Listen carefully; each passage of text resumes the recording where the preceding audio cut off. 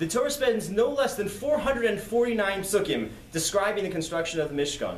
All the hard work, the exquisite detail, the money, the efforts of the entire Jewish nation goes into the building of this tabernacle, of this structure, to welcome the Ribono Shalom, to have the Shekhinah rest amongst the Jewish people.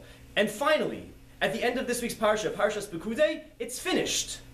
They're ready. It's finally ready. It's here. They can go and offer karbanos. They can offer the sacrifices. They can do the service, the avoda in the Mishkan.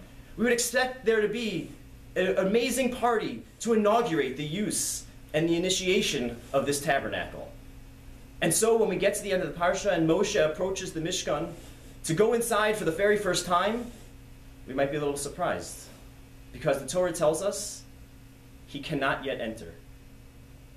Imagine the disappointment, the confusion. What's going on? Why is it that it's finally finished after all this hard work and it's not being used immediately?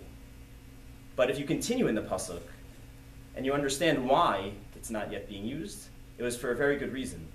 The Torah tells us, "Kishachan alav ha'anan uchvod Hashem malayas hamishkan," that he couldn't go in yet because the presence of Hashem Shechina was completely filling the entire edifice. There was no space for Moshe yet to enter this Mishkan. And you might wonder, why is the Shekhinah there if it hasn't yet been put into use? All they've done is build the Mishkan, but they haven't actually used it yet. And so we see from here the incredible message that the Ribono Shalom was so excited, Kivyachol. He himself, so to speak, couldn't contain his own excitement to dwell with the Jewish people, that he was in the Mishkan, filling the entire building even before it was brought into use. And this is a message that was not just true in the times of the Mishkan. It was true then, and it's true now in our shuls and in our homes. Hashem is so excited to enter into our lives and be a part of our lives. He is there waiting for us to come. It's up to us to take advantage of this opportunity and Emir Hashem be zocha to engaging in that presence.